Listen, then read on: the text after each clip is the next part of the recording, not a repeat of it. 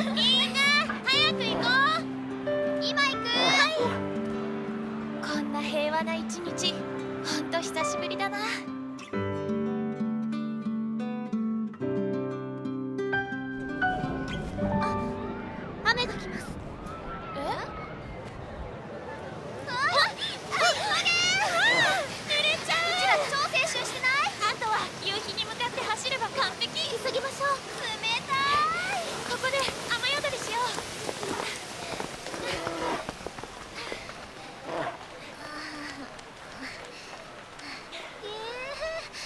突然降ってきたな。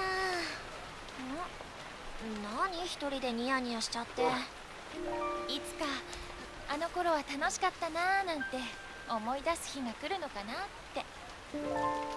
あの時ああすればよかった。こうすればよかったって後悔してたりして。うん何突然？どうしたの？ふと思っただけ。将来のこととかこれから自分で決めなきゃいけないこととかいろいろあるでしょまあね。自分が選ぼうとしている道が正しいのか。未来にならないと分かんないしそれでいいと思います。何が？わからないことがいいと思うんです。迷わず生きよ行けばわかるさ。有名なお坊さんの言葉です。なんか親父臭いな。でもいいかも。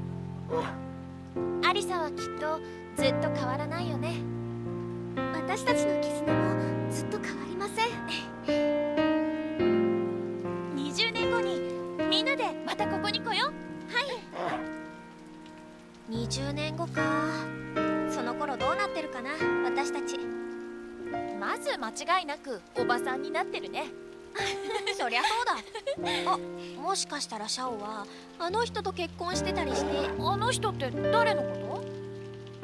とぼけちゃってご想像にお任せします。ほら！誰？内緒。もう見てください。虹です。本当だ。よーし！次行くよ！ところでさっきのあの人って誰ですか？行く。もう